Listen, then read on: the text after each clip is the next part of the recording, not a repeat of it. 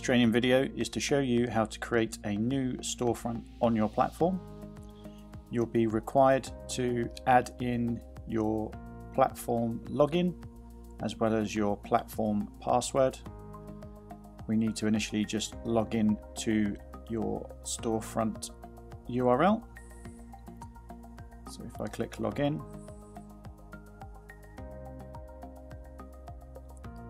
and then we add in our platform login details.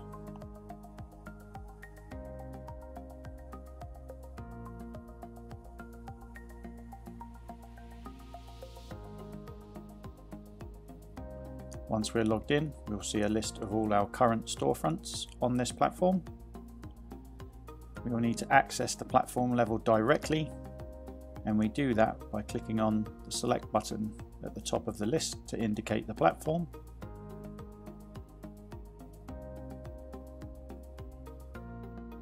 Now the dashboard has loaded, we can see at the top we have current account and we are at the platform level.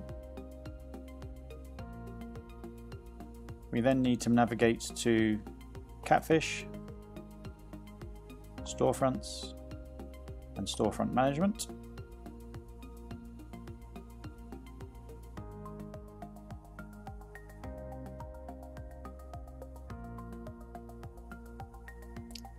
Here is where we're going to add in our new storefront to our platform. To start that process, we need to click on the blue plus icon and then we need to add in a new record so we can add some entries for our storefront. We move across here to the add new record button. That creates an entry for us to enter some values. So this will be the account name for our new storefront. So demo storefront and then we can add in a description whatever is relevant for your storefront. We then simply click under the command key of insert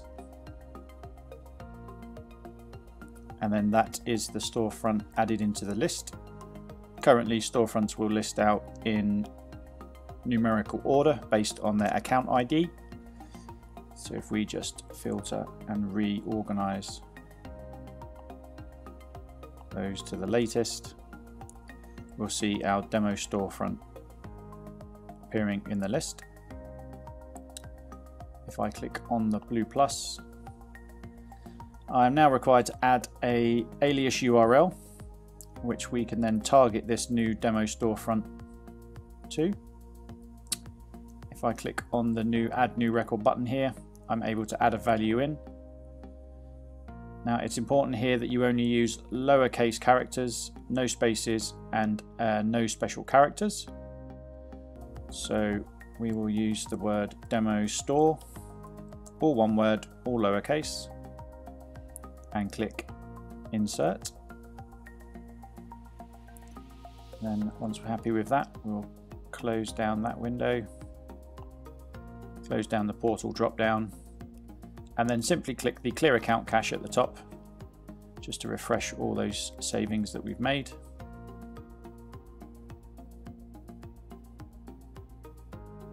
And then we'll clear the cache in the top right, the admin cache as well. So to now access the new storefront we've created, we'll need to go to the demo store itself and we'll need to firstly log out of our platform with our platform account. And then now we can change the URL to target the new storefront by adding in the URL alias, which we've just added in. So forward slash demo store and click return.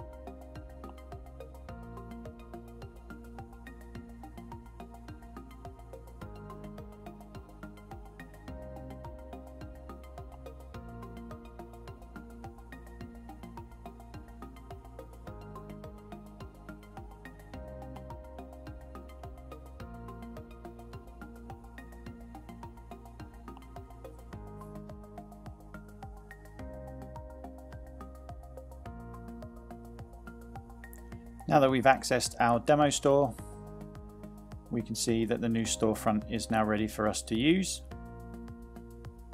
We need to now log in to the storefront using our platform admin account and then create some new storefront administrator users or regular end users and then the site can be configured and designed as required.